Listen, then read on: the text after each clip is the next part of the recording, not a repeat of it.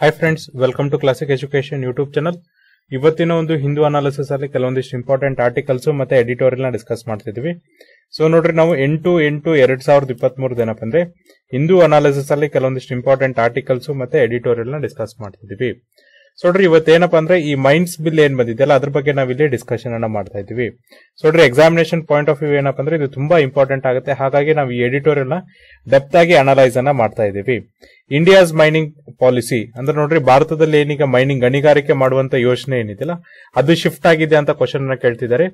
Is India's import dependent for critical and deep sealed seated minerals ಅಂದ್ರೆ ನೋಡ್ರಿ ನಾವೇನಪ್ಪ ಅಂದ್ರೆ ಇಂಪೋರ್ಟ್ ಮೇಲೆ ಹೆಚ್ಚಿನ ನಿರ್ಭರತೆನ ಹೊಂದಿದೀವಿ. ಎಸ್ಪೆಷಲಿ ಯಾವ್ದಕ್ಕೋಸ್ಕರ ಅಂದ್ರೆ ಕ್ರಿಟಿಕಲ್ ಮತ್ತೆ ಡೀಪ್ ಸೀಟೆಡ್ ಮಿನರಲ್ಸ್ ಏನಿದೆ, ಅವುಗಳನ್ನ ನಾವು ಎಕ್ಸ್ಪ್ಲೋರೇಷನ್ ಮಾಡೋದ್ರ ಬದಲಾಗಿ ಅಂದ್ರೆ ಗಣಿಗಾರಿಕೆ ಮಾಡೋದ್ರ ಬದಲಾಗಿ ನಾವು ಆಮದನ್ನ ಜಾಸ್ತಿ ಮಾಡ್ಕೋತಿದೀವ. Why is it essential to get a private sector to explore these minerals ಯಾಕೆ ಇದು ನೋಡ್ರಿ ತುಂಬಾ ಇಂಪಾರ್ಟೆಂಟ್ ಆಗುತ್ತೆ. ಎಸ್ಪೆಷಲಿ ಏನಪ್ಪ ಅಂದ್ರೆ ಈ ಒಂದು ಖಾಸಗಿ ವಲಯದವ್ರನ್ನ ಕರೆಸ್ಕೊಂಡು ಏನಪ್ಪ ಅಂದ್ರೆ ಈ ಮಿನರಲ್ಸ್ ಅನ್ನ ಎಕ್ಸ್ಪ್ಲೋರ್ ಮಾಡಕ್ಕೆ. ಅಂದ್ರೆ ನೋಡ್ರಿ, ಆ ಗಣಿಗಾರಿಕೆಯಿಂದ ಹೊರ ಯಾಕೆ ಇದು ಇಂಪಾರ್ಟೆಂಟ್ ಆಗುತ್ತೆ? As India's mineral policy attracted the private sector investment ಅಂದ್ರೆ, ಭಾರತದ ಒಂದು ಮೈನಿಂಗ್ ಪಾಲಿಸಿ ಏನಿದೆ, ಅಲ್ಲ, ಅದು ಆಲ್ರೆಡಿ ಏನಪ್ಪ ಅಂದ್ರೆ ಪ್ರೈವೇಟ್ ಸೆಕ್ಟರ್ ಇನ್ವೆಸ್ಟ್ಮೆಂಟ್ ಏನಿದೆ. ಅಂದ್ರೆ, ಖಾಸಗಿ ಕ್ಷೇತ್ರದವರಿಂದ ಹೂಡಿಕೆಗೆ, ಹೂಡಿಕೆಯನ್ನ ಅಟ್ರಾಕ್ಟ್ ಮಾಡಿದೆ ಅಂತ ಕ್ವಶನ್ ಮಾಡ್ತಿದ್ದಾರೆ.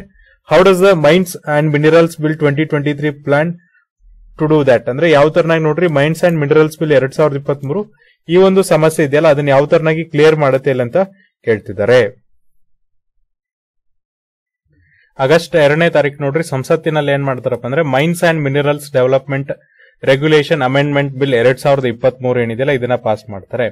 ಇದನ್ನ ಪಾಸ್ ಮಾಡಿ ಏನ್ ಮಾಡ್ತಾರೆ ಅಂದ್ರೆ, ಖಾಸಗಿ ವಲಯದ ಹೂಡಿಕೆ ಏನಿದೆಯಲ್ಲ, ಆ ಖಾಸಗಿ ವಲಯದ ಹೂಡಿಕೆ ಏನ್ ಮಾಡ್ತಾರಪ್ಪ ಅಂದ್ರೆ ಅಟ್ರಾಕ್ಟ್ ಅನ್ನ ಮಾಡಕ್ ಹೋಗ್ತಾರೆ. ಅಂದ್ರೆ ನೋಡ್ರಿ, ಈ mines and minerals development and regulation amendment bill ಮೂಲಕ ಏನಪ್ಪ ಅಂದ್ರೆ, ಖಾಸಗಿ ವಲಯದವರಿಗೆ ಏನ್ ಹೂಡಿಕೆ ಮಾಡ್ತಾ ಇಲ್ಲ, ಅದನ್ನೇ ಜಾಸ್ತಿ ಏನ್ ಮಾಡ್ತಿದ್ರು ಅಂದ್ರೆ ಹೂಡಿಕೆ ಜಾಸ್ತಿ ಮಾಡಕ್ ನೋಡ್ತಿದ್ದಾರೆ. ಜೊತೆಗೆ ನೋಡ್ರಿ ಇಲ್ಲಿ ಏನ್ ಮಾಡ್ತಿದ್ರು ಅಂದ್ರೆ ಕ್ರಿಟಿಕಲ್ ಮತ್ತೆ ಡೀಪ್ ಸೀಟೆಡ್ ಮಿನರಲ್ಸ್ ಏನಿತ್ತಲ್ಲ, ಅವುಗಳನ್ನ ಹೆಚ್ಚೆಚ್ಚು ಎಕ್ಸ್ಪ್ಲೋರೇಷನ್ ಮಾಡ್ತಾ ಇದ್ದಾರೆ. ಅದಕ್ಕೋಸ್ಕರ ನೋಡ್ರಿ ಈಗ ಆರು ಮಿನರಲ್ಸ್ ಏನಿದೆಯಲ್ಲ, ಅವುಗಳನ್ನ ಏನ್ ಮಾಡಿದ್ರಪ್ಪ ಅಂದ್ರೆ ಔಟ್ ಆಫ್ ದ ಬಾಕ್ಸ್ ಇಟ್ಟಿದ್ದಾರೆ. ಅಂದ್ರೆ ಮುಂಚೆ ಇವುಗಳನ್ನ ಏನ್ ಮಾಡ್ತಿದ್ರು ರಾಜ್ಯ ಸರ್ಕಾರಗಳಾಗ್ಲಿ, ಕೇಂದ್ರ ಸರ್ಕಾರ ಆಗ್ಲಿ ಅವರ ಒಡೆತನದ ಏನು ಕಂಪ್ನೀಸ್ ಇರುತ್ತಲ್ಲ ಅವ್ರು ಮಾತ್ರ ಅಲ್ಲಿ ಗಣಿಗಾರಿಕೆ ಮಾಡಬೇಕಿತ್ತು. ಅದನ್ನೀಗ ಏನ್ ಮಾಡಿದ್ರು ಅಂದ್ರೆ ಹೊರಗಡೆ ಇಟ್ಟಿದ್ದಾರೆ ಇವುಗಳನ್ನ ಏನ್ ಮಾಡಿದಾರಪ್ಪ ಅಂದ್ರೆ ಎಸೆನ್ಷಿಯಲ್ ಲಿಸ್ಟಿಗೆ ಸೇರಿಸಿದ್ದಾರೆ.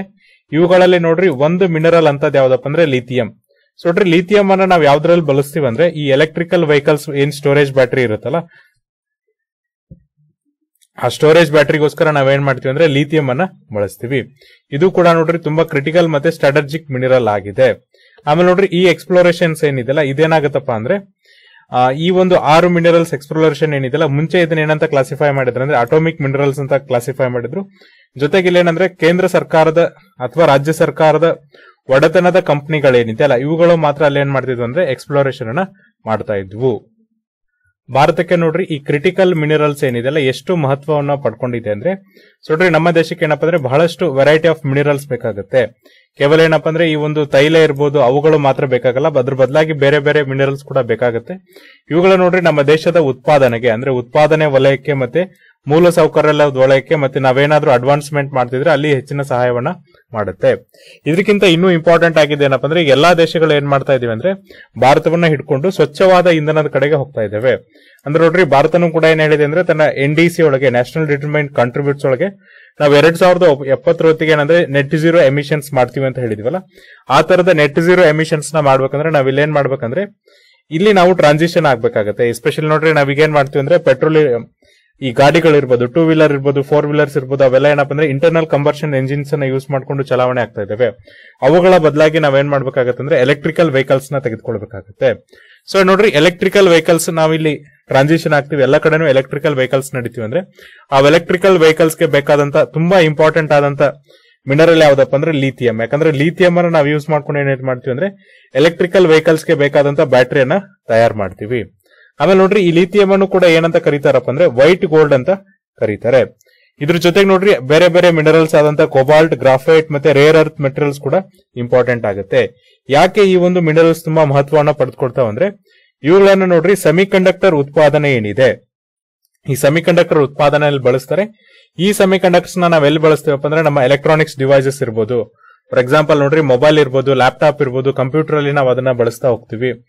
ಇದ್ರ ಜೊತೆಗೆ ಏನಪ್ಪ ಅಂದ್ರೆ ಇವುಗಳನ್ನ ಡಿಫೆನ್ಸ್ ಮತ್ತೆ ಏರೋಸ್ಪೇಸ್ ಇಕ್ವಿಪ್ಮೆಂಟ್ ಅಲ್ಲೂ ಕೂಡ ಬಳಸ್ತಾ ಹೋಗ್ತೀವಿ. ಅದೇ ತರ ನೋಡ್ರಿ ಟೆಲಿಕಮ್ಯುನಿಕೇಶನ್ ಟೆಕ್ನಾಲಜಿ ಅಡ್ವಾನ್ಸ್ ಆದಂಗೂ ಕೂಡ ನಾವೆಲ್ಲ ಏನ್ ಮಾಡ್ತೀವಿ ಅಂದ್ರೆ ಸೆಮಿ ಕಂಡಕ್ಟರ್ಸ್ನ ಬಳಸ್ತಾ ಹೋಗ್ತೀವಿ. ಜೊತೆಗೆ ನೋಡ್ರಿ, ನಾನು ಸ್ಯಾಟರ್ಡೆ ಒಂದು ಅನಾಲಿಸಿಸ್ ಮಾಡಬೇಕಾದ್ರೆ ಹೈಬ್ರಿಡ್ ಇವಿ ಬಗ್ಗೆ ಡಿಸ್ಕಷನ್ ಅನ್ನು ಮಾಡಿದ್ವಿ. ಸೊ ನೋಡ್ರಿ ಹೈಬ್ರಿಡ್ ಇವಿ ಬಗ್ಗೆ ನಾನು ಇಲ್ಲಿ ಡಿಸ್ಕಷನ್ ಮಾಡ್ತಾ ನಿಮ್ಗೆ ಹೇಳಿದ್ದೆ. ಅಲ್ಲೇನಪ್ಪ ಅಂದ್ರೆ ಈ ಹೈಬ್ರಿಡ್ ಇವಿ ಅನ್ನೋದು ಯಾವ ತರನಾಗಿ ಡೆವಲಪಿಂಗ್ ನೇಷನ್ಸ್ ಅಂದ್ರೆ ಅಭಿವೃದ್ಧಿ ಹೊಂದುತ್ತಿರುವ ರಾಷ್ಟ್ರಗಳಿಗೆ ಸಹಾಯ ಮಾಡುತ್ತೆ ಅಂತ ಹೇಳಿ. ನೋಡ್ರಿ, ಯಾರೆಲ್ಲ ಸ್ಯಾಟರ್ಡೆ ಹಿಂದೂ ಅನಾಲಿಸಿಸ್ ನೋಡಿಲ್ಲ ದಯವಿಟ್ಟು ನೋಡ್ರಿ.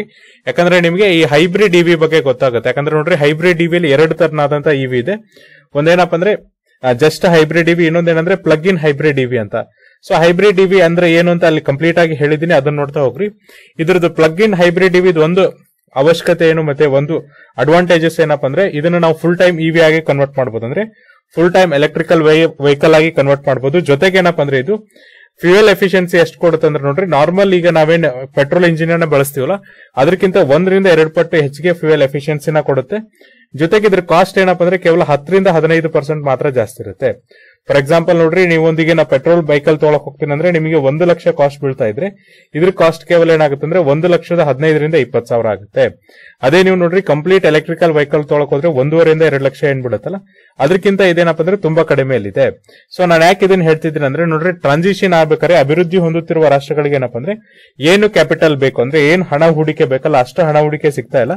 ಹಾಗಾಗಿ ಈ ಹೈಬ್ರಿಡ್ ಡಿವಿ ಅನ್ನ ಬಳಸ್ಕೊಳ್ಳೋದ್ರಿಂದ ನಮಗೆ ನೋಡ್ರಿ, ನಾವು ಟ್ರಾನ್ಸಿಷನ್ ಕಡೆಗೆ ಈಸಿಯಾಗಿ ಮೂವ್ ಆಗ್ಬಹುದು ಹಾಗಾಗಿ ಯಾರೆಲ್ಲ ಸ್ಯಾಟರ್ಡೆ ಹಿಂದೂ ಅನಾಲಿಸಿಸ್ನ ನೋಡಿಲ್ಲ ದಯವಿಟ್ಟು ಒಂದ್ಸರಿ ನೋಡಿ, ಯಾಕಂದ್ರೆ ಹೈಬ್ರಿಡ್ ಡಿವಿ ಬಗ್ಗೆ ನಾನು ಇಲ್ಲಿ ಡೀಟೇಲ್ಡ್ ಆಗಿ ಎಕ್ಸ್ಪ್ಲನೇಷನ್ ಮಾಡಿದ್ದೀನಿ. ಈಗ ಮೇಲೆ ಹೇಳಿದಂತ ಮಿನರಲ್ ಸಿಗ್ಲಿಲ್ಲ ಅಂದ್ರೆ ನೋಡ್ರಿ, ಅವುಗಳ ಕಾನ್ಸಂಟ್ರೇಷನ್ ಸಿಗ್ಲಿಲ್ಲ ಅಂದ್ರೆ ನಾವೇನ್ ಮಾಡ್ತೀವಿ ಅಂದ್ರೆ ಇಂಪೋರ್ಟ್ ಮೇಲೆ ಜಾಸ್ತಿ ಡಿಪೆಂಡೆನ್ಸ್ ಆಗ್ತೀವಿ ಯಾಕಂದ್ರೆ ನೋಡ್ರಿ, ಅವುಗಳು ಒಂದೇ ಕಡೆ ಕಾನ್ಸಂಟ್ರೇಟ್ ಆಗಿರೋದು. ಜೊತೆಗೆ ಏನಪ್ಪ ಅಂದ್ರೆ ಒಂದೇ ಜೋಗ್ರಫಿಕಲ್ ಏರಿಯಾದಲ್ಲಿ ಅವುಗಳನ್ನ ಎಕ್ಸ್ಪ್ಲೋರೇಷನ್ ಮಾಡ್ತಿರೋದು, ಅಂದ್ರೆ ಗಣಿಗಾರಿಕೆ ಮಾಡ್ತಿರೋದು.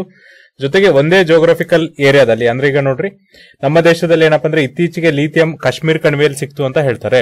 ಬಿಟ್ಟು ಬೇರೆ ಪ್ರದೇಶಗಳಲ್ಲಿ ಸಿಗ್ತಾ ಇಲ್ಲ. ಆ ಜೋಗ್ರಫಿಯಲ್ಲಿ ಸಿಗೋದ್ರಿಂದ ನಾವು ಅಲ್ಲಿಂದ ಅದನ್ನ ಏನ್ ಮಾಡ್ಬೇಕಾಗತ್ತೆ ಅಂದ್ರೆ ಎಕ್ಸ್ಪ್ಲೋರ್ ಮಾಡಿ, ಗಣಿಗಾರಿಕೆ ಮಾಡಿ ಅದನ್ನ ಸಪ್ಲೈ ಮಾಡ್ಬೇಕಾಗತ್ತೆ. ಈ ತರನಾಗ ಏನಪ್ಪಾ ಅಂದ್ರೆ ಇಲ್ಲಿ ಮಿನಿರಲ್ಸ್ ಅನ್ನೋದೇನಂದ್ರೆ ಒಂದೇ ಜೋಗ್ರಫಿಯಲ್ಲಿ ಕಾನ್ಸಂಟ್ರೇಟ್ ಆಗಿರೋದು, ಅಲ್ಲೇ ಎಕ್ಸ್ಪ್ಲೋರ್ ಆಗ್ತಿರೋದ್ರಿಂದ ಏನಾಗುತ್ತೆ ಈ ಒಂದು ಮಿನರಲ್ಸ್ ಮೇಲೆ ನಾವು ಹೆಚ್ಚಿನ ನಿರ್ಭರತೆನ ಹೊಂದಕ್ಕಾಗಲ್ಲ. ಬದಲಾಗಿ ಅಲ್ಲಿ ಏನಾಗುತ್ತೆ ಅಂದ್ರೆ ಡಿಪೆಂಡೆನ್ಸಿ ಜಾಸ್ತಿ ಆಗುತ್ತೆ. ಯಾವ ತರನ ಅಂತ ಡಿಪೆಂಡೆನ್ಸಿ ಅಪ್ಪ ಅಂದ್ರೆ ಇಂಪೋರ್ಟ್ ಅಂದ್ರೆ ಅದನ್ನ ಆಮದು ಮಾಡ್ಕೊಂಡು ನಾವೇನ್ ಮಾಡ್ಬೇಕಾಗತ್ತಂದ್ರೆ ನಿರ್ಭರತೆನ ಹೊಂದಬೇಕಾಗತ್ತೆ. ಸೊ ನೋಡ್ರಿ ಇಲ್ಲಿ ಕೂಡ ಏನಪ್ಪ ಅಂದ್ರೆ ಕೆಲವೊಂದಿಷ್ಟು ವಲ್ಲರಬಿಲಿಟೀಸ್ ಇರುತ್ತೆ. ಈಗ ಯಾಕಂದ್ರೆ ಆಕ್ಚುಲಿ ಏನಪ್ಪಾ ಅಂದ್ರೆ, ಈಗ ನೋಡ್ರಿ ನಮ್ಮ ದೇಶದಲ್ಲಿ ಯಾವುದೋ ಒಂದು ಮಿನರಲ್ಸ್ ಇಲ್ಲ ಅಂದ್ರೆ ನಾವು ಬೇರೆ ದೇಶದಿಂದ ಇಂಪೋರ್ಟ್ ಮಾಡ್ಕೋತಿದ್ರೆ, ಆ ದೇಶದವರು ಇನ್ ಟೈಮ್ ಸಪ್ಲೈ ಮಾಡಲಿಲ್ಲ ಅಂದ್ರೆ ಇಲ್ಲಿರುವಂತ ಮ್ಯಾನುಫ್ಯಾಕ್ಚರಿಂಗ್ ಆಕ್ಟಿವಿಟೀಸ್ ನಡೆಯೋದಿಲ್ಲ. ಸೊ ಈ ಒಂದು ವಲ್ನರಬಿಲಿಟಿ ಏನಿದೆಯಲ್ಲ, ಇದು ನಮಗೆ ಹೆಚ್ಚು ಕಾಡ್ತಾ ಹೋಗುತ್ತೆ. ಸೊ ಇನ್ನೊಂದು ನಾವು ಇಲ್ಲಿ ಉದಾಹರಣೆ ತಗೋಬೇಕಾಗಿದ್ದೇನಪ್ಪ ಅಂದ್ರೆ ಚೈನಾ ನೋಡ್ರಿ, ಚೈನಾ ದೇಶದಲ್ಲಿ ಮಿನರಲ್ಸ್ ಇಲ್ಲ, ಆದ್ರೂ ಕೂಡ ಅವ್ರು ಏನ್ ಮಾಡ್ತಿದ್ರು ಅಂದ್ರೆ ತಮ್ಮ ಕ್ಯಾಪಿಟಲಿಸಂ ಮೂಲಕ ಏನ್ ಮಾಡ್ತಿದ್ರು ಅಂದ್ರೆ ಜಗತ್ತಿನಲ್ಲಿ ಎಲ್ಲೆಲ್ಲಿ ಮೈನ್ ಸಿಗುತ್ತಲ್ಲ, ಅವುಗಳನ್ನ ಓನ್ ಮಾಡ್ತಾ ಇದ್ದಾರೆ. ಎಸ್ಪೆಷಲಿ ನೋಡ್ರಿ, ಚೈನಾ ಏನ್ ಮಾಡ್ತಿದೆ ಅಂದ್ರೆ ಡೆಮೊಕ್ರೆಟಿಕ್ ರಿಪಬ್ಲಿಕ್ ಆಫ್ ಕಾಂಗೋ ಏನಿದೆ.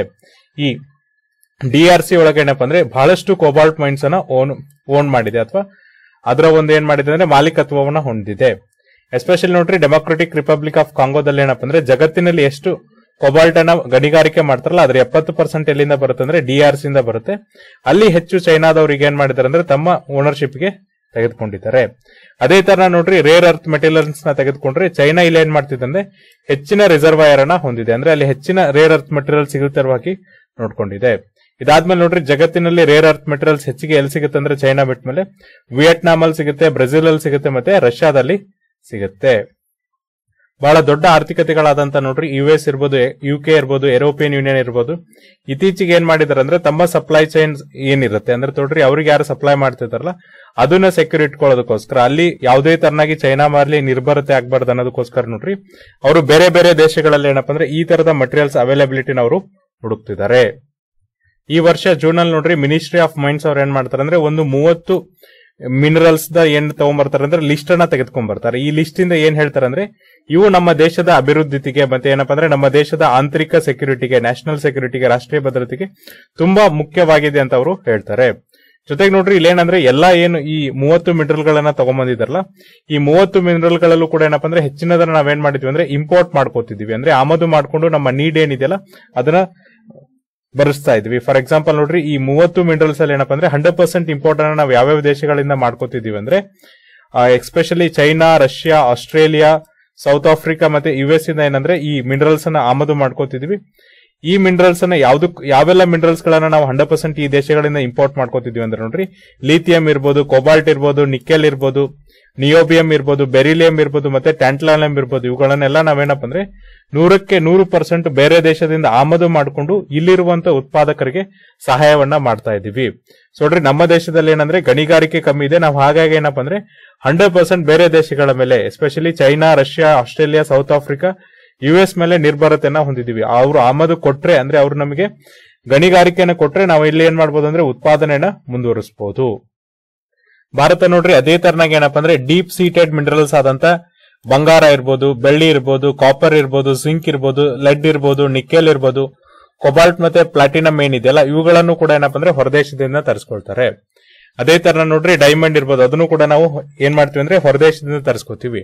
ಯಾಕಂದ್ರೆ ಇವೆಲ್ಲಾನು ಕೂಡ ನೋಡ್ರಿ ಡೀಪ್ ಸೀಟೆಡ್ ಮಿನರಲ್ಸ್ ಆಗಿರೋದ್ರಿಂದ ನೋಡ್ರಿ ಡೀಪ್ ಅಂದ್ರೆ ತುಂಬಾ ಆಳವಾಗಿ ಗಣಿಗಾರಿಕೆ ಮಾಡೋದಾಗಿರೋದ್ರಿಂದ ಇವುಗಳು ಕೇವಲ ಏನಪ್ಪ ಅಂದ್ರೆ ಎಕ್ಸ್ಪೆನ್ಸಿವ್ ಆಗಿಲ್ಲ. ಅಂದ್ರೆ ಇವು ಕೇವಲ ಏನಪ್ಪ ಅಂದ್ರೆ ಇವುಗಳನ್ನ ನಾವು ಎಕ್ಸ್ಪ್ಲೋರೇಷನ್ ಮಾಡ್ತೀವಿ. ಗಣಿಗಾರಿಕೆ ಮಾಡ್ತೀವಿ ಅಂದ್ರೆ ಹೆಚ್ಚೆಚ್ಚು ಖರ್ಚಾಗಲ್ಲ, ಬದಲಾಗಿದ್ದು ತುಂಬಾ ಕಷ್ಟಕರವಾಗಿದೆ. ಸೊ ನೋಡ್ರಿ ನಿಮಗೆ ಗೊತ್ತು ಕೆಜಿಎಫ್ ಏನಿದೆ? ಗೋರ, ಕೋಲಾರ್ ಗೋಲ್ಡ್ ಫೀಲ್ಡ್ಸ್ ಅಲ್ಲೂ ಕೂಡ ಏನಪ್ಪಾ ಅಂದ್ರೆ ಬಂಗಾರ ಸಿಕ್ತಿತ್ತಲ್ಲ ಅದನ್ನ ಒಂದು ಲೆವೆಲ್ ಒಳಗೂ ಭಾರತ ಸರ್ಕಾರ ಎಕ್ಸ್ಪ್ಲೋರ್ ಮಾಡ್ತು. ಅಂದ್ರೆ ಅಲ್ಲಿ ಗಣಿಗಾರಿಕೆನ ಮಾಡ್ತು. ಎಲ್ಲಿವರೆಗೂ ಗಣಿಗಾರಿಕೆ ಮಾಡ್ತಪ್ಪ ಅಂದ್ರೆ ಅಲ್ಲಿಂದ ಒಂಚೂರು ಪಾರು ಲಾಭ ಆಗೋವರೆಗೂ ಗಣಿಗಾರಿಕೆನ ಮಾಡ್ತು. ಯಾವಾಗ ನೋಡ್ರಿ ನಮ್ಮ ಗಣಿಗಾರಿಕೆ ಏನಂದ್ರೆ ನಾವು ಮಾಡೋ ಕೆಲಸದಕ್ಕಿಂತ ಹೆಚ್ಚು ನಷ್ಟವನ್ನ ಮಾಡ್ತಾ ಬಂತಲ್ಲ, ಅವಾಗ ನಾವು ಅದನ್ನ ಏನ್ ಮಾಡಿದ್ವಿ ಅಂದ್ರೆ ನಿಲ್ಸಿದ್ವಿ. ಹಾಗಾಗಿ ಈ ಡೀಪ್ ಸೀಟೆಡ್ ಮಿನರಲ್ಸ್ ಏನಿದೆಯಲ್ಲ, ಇವುಗಳನ್ನ ನಾವು ಗಣಿಗಾರಿಕೆ ಮಾಡ್ಬೇಕಾರೆ ತುಂಬಾ ಖರ್ಚಾಗುತ್ತೆ. ಜೊತೆಗೆ ಏನಪ್ಪಾ ಅಂದ್ರೆ ಇವು ತುಂಬಾ ಕಷ್ಟ. ಅಂದ್ರೆ ಬೇಗ ನಮಗೆ ಅಷ್ಟು ಬೇಗ ಗಣಿಗಾರಿಕೆ ಮಾಡಕ್ಕಾಗಲ್ಲ. ಇದು ಡಿಫಿಕಲ್ಟ್ ಟಾಸ್ಕ್ ಆಗಿದೆ. ಹಾಗಾಗಿ ನೋಡ್ರಿ ನಾವು ಇವುಗಳನ್ನ ಏನ್ ಮಾಡ್ತೀವಿ ಅಂದ್ರೆ ಬಹಳಷ್ಟು ಇಂಪೋರ್ಟ್ ಅನ್ನ ಮಾಡ್ಕೋತೀವಿ. ಅಂದ್ರೆ ಆಮದನ್ನ ಮಾಡ್ಕೋತೀವಿ. ಇದ್ರ ಜೊತೆ ನೋಡ್ರಿ ನಾವು ಎರಡ್ ಸಾವಿರದ ಇಪ್ಪತ್ತೆರಡು ಇಪ್ಪತ್ತ್ ಮೂರಲ್ಲಿ ಏನಪ್ಪ ಅಂದ್ರೆ ನಾವು ಎಷ್ಟು ಟನ್ ಕಾಪರ್ ಅನ್ನ ಇಂಪೋರ್ಟ್ ಮಾಡ್ಕೊಂಡಿದ್ವಿ ಅಂದ್ರೆ ಹನ್ನೆರಡು ಲಕ್ಷ ಟನ್ ಅಷ್ಟು ಏನಪ್ಪ ಅಂದ್ರೆ ಕಾಪರ್ ಅನ್ನ ಬೇರೆ ದೇಶಗಳಿಂದ, ಈ ತಾಮ್ರವನ್ನ ಬೇರೆ ದೇಶಗಳಿಂದ ಏನಪ್ಪ ಅಂದ್ರೆ ಇಂಪೋರ್ಟ್ ಅನ್ನ ಮಾಡ್ಕೊಂಡಿದ್ವಿ, ಆಮದನ್ನ ಮಾಡ್ಕೊಂಡಿದ್ವಿ. ಓವರ್ ಆಲ್ ನೋಡ್ರಿ ಇದು ಇಪ್ಪತ್ತೇಳು ಸಾವಿರ ಕೋಟಿ ಆಗುತ್ತೆ. ಅಂದ್ರೆ ತಾಮ್ರದ ಒಂದು ಆಮದಿಗೋಸ್ಕರ ನಾವು ಎಷ್ಟು ಹಣವನ್ನ ಖರ್ಚು ಮಾಡಿದೀವಪ್ಪ ಅಂದ್ರೆ ಇಪ್ಪತ್ತೇಳು ಸಾವಿರ ಕೋಟಿ ಹಣವನ್ನ ಖರ್ಚು ಮಾಡಿದೀವಿ ಹಾಗಾದ್ರೆ ನಮ್ಮ ದೇಶದಲ್ಲಿ ನೋಡ್ರಿ, ಗಣಿಗಾರಿಕೆನ ಮಾಡಕ್ಕೆ ಖಾಸಗಿ ವಲಯ ಯಾಕೆ ಮಹತ್ವವನ್ನ ಪಡೆದುಕೊಳ್ಳುತ್ತೆ ಅಂತ ಕ್ವಶನ್ ಅನ್ನ ಮಾಡ್ತಾ ಇದ್ದಾರೆ. ಅಧ್ಯಯನದ ಪ್ರಕಾರ ಎಸ್ಪೆಷಲ್ ನೋಡ್ರಿ, ಸಂಸ್ಥೆಗಳಾದಂತ automatic minerals directorate for exploration and research ಇರ್ಬೋದು, ಇವ್ರು ಇರ್ಬೋದು, ಅಥವಾ centre for social and economic progress ಅಥವಾ ನಾವು ಇದನ್ನ ಇ ಸಿಇ ಪಿ ಅಂತ ಸಿ ಎಸ್ ಇ ಪಿ ಅಂತ ಏನ್ ಕರಿತೋ ಇವ್ರು ಇರ್ಬೋದು. ಇವ್ರು ಏನ್ ಹೇಳ್ತಿದ್ರು ಅಂದ್ರೆ ಭಾರತದ ಒಂದು ಜಿಯೋಗ್ರಫಿಯನ್ನ ನೋಡಿದಾಗ, ಜೊತೆಗೆ ಜೋಗ್ಲ ಜಿಯೋಲಜಿಯನ್ನ ನೋಡಿದಾಗ, ಅಂದ್ರೆ ನೋಡ್ರಿ ನೀವು ಭೌಗೋಳಿಕವಾಗಿ ನೋಡಿದಾಗ ನೋಡ್ರಿ, ನಮ್ಮ ಟೆಕ್ನಾನಿಕ್ ಸೆಟ್ಟಿಂಗ್ಸ್ ಏನಿದೆ, ಅಂದ್ರೆ ಭೂಪದ್ರಗಳ ಸೆಟ್ಟಿಂಗ್ಸ್ ಏನಿದೆಯಲ್ಲ, ಇಲ್ಲೇನಪ್ಪ ಅಂದ್ರೆ ಈ ಸೆಟ್ಟಿಂಗ್ಸ್ ಅನ್ನ ನೋಡಿದಾಗ ನೋಡ್ರಿ, ನಮ್ಮ ಭೂಪದ್ರಗಳಲ್ಲೂ ಕೂಡ ಏನಪ್ಪ ಅಂದ್ರೆ ಹೆಚ್ಚು ಹೆಚ್ಚು ಮಿನರಲ್ಗಳು ಇರುವಂತಹ ಸಂಭಾವ್ಯವಿದೆ. ಯಾಕಂದ್ರೆ ನೋಡ್ರಿ, ಭೌಗೋಳಿಕವಾಗಿ ನಾವು ನಮ್ಮ ದೇಶವನ್ನ ಕಂಪ್ಯಾರಿಸನ್ ಮಾಡಿದಾಗ ಮಿನರಲ್ ರಿಚ್ ದೇಶಗಳಾದಂತಹ ವೆಸ್ಟ್ ಆಸ್ಟ್ರೇಲಿಯನ್ ಮತ್ತೆ ಈಸ್ಟ್ ಆಫ್ರಿಕನ್ ದೇಶಗಳಿಗೆ ಹೋಲುತ್ತೆ.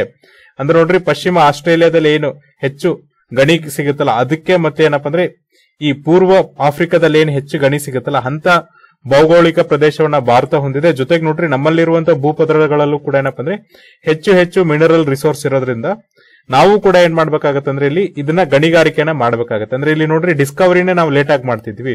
ಇತ್ತೀಚೆಗೆ ನಮಗೆ ಗೊತ್ತಾಗಿದೆ ನಮ್ಮ ದೇಶದಲ್ಲೂ ಕೂಡ ಏನಪ್ಪಾ ಅಂದ್ರೆ ಲಿಥಿಯಂ ಸಿಗುತ್ತೆ ಅಂತ. ಅಲ್ಲಿವರೆಗೂ ಕೂಡ ನಾವೇನಪ್ಪ ಅಂದ್ರೆ ಕರೆಕ್ಟ್ ಆಗಿ ಡಿಸ್ಕವರಿಯನ್ನೇ ಮಾಡಿದ್ದಿಲ್ಲ. ಆಮೇಲೆ ನೋಡ್ರಿ, ಈ ಪ್ರೈಮರಿ ಸ್ಟೆಪ್ಸ್ ಏನಿದೆ ಡಿಸ್ಕವರಿ ಮಾಡೋದು, ಇದು ಏನ್ ಮಾಡ್ಬೇಕಪ್ಪ ಅಂದ್ರೆ ಫಸ್ಟ್ ನಾವೇನ್ ಮಾಡ್ಬೇಕಂದ್ರೆ ಮಿನರಲ್ ಎಕ್ಸ್ಪ್ಲೋರೇಷನ್ ಮೂಲಕ ಮಾಡ್ಬೇಕಂದ್ರೆ ಅಲ್ಲಿ ಗಣಿ ಇದೆ ಇಲ್ಲ ಅಂತ ತಿಳ್ಕೊಳ್ಳೋದಕ್ಕೋಸ್ಕರ ನಾವು ನೋಡ್ರಿ, ಸಣ್ಣದಾಗಿ ಎಕ್ಸ್ಪ್ಲೋರೇಷನ್ನ ಮಾಡ್ಬೇಕಾಗತ್ತೆ. ಅಲ್ಲೇನಪ್ಪ ಅಂದ್ರೆ ಮೈನಿಂಗ್ ಮಾಡೋದಕ್ಕೆ ನೋಡ್ರಿ, ಬೇರೆ ಬೇರೆ ಹಂತಗಳಿದೆ. ಈ ಹಂತಗಳನ್ನ ನಾವೇನ್ ಮಾಡಿದ್ವಿ ಅಂದ್ರೆ ವಿಶ್ವಸಂಸ್ಥೆ ಫ್ರೇಮ್ ವರ್ಕ್ ಏನಿದೆ. ಅಂದ್ರೆ ವಿಶ್ವಸಂಸ್ಥೆ ಏನು ಕ್ಲಾಸಿಫಿಕೇಶನ್ಸ್ ವರ್ಗೀಕರಣವನ್ನ ಮಾಡಿದೆಲ್ಲ ಆ ವರ್ಗೀಕರಣದ ಪ್ರಕಾರ ನಾವ್ ಇಲ್ಲಿ ಏನ್ ಮಾಡ್ತಿದ್ವಿ ಅಂದ್ರೆ ಈ ಒಂದು ಗಣಿಗಾರಿಕೆನ ಮಾಡಬೇಕಾಗತ್ತೆ. ಫಸ್ಟ್ ನೋಡ್ರಿ ಇವ್ರು ಕ್ಲಾಸಿಫಿಕೇಶನ್ಸ್ ಯಾವ ತರನಾಗೆ ಮಾಡಿದ್ದಾರೆ ಅಂದ್ರೆ first G four G four ಅಂದ್ರೆ ಇಲ್ಲಿ ರೀಕನ್ಸಿಯನ್ಸೆನ್ಸ್ ಅಂತ. ರೀಕನ್ಸಿಯನ್ಸ್ನೆಸ್ ಅಂತ. ಎರಡನೇದ್ ನೋಡ್ರಿ ಪ್ರಾಸ್ಪೆಕ್ಟಿಂಗ್ ಅಂತ ಜಿ ತ್ರೀ ಮೂರನೇದ್ ಏನಪ್ಪ ಅಂದ್ರೆ ಜನರಲ್ ಎಕ್ಸ್ಪ್ಲೋರೇಷನ್ ಅಂತ.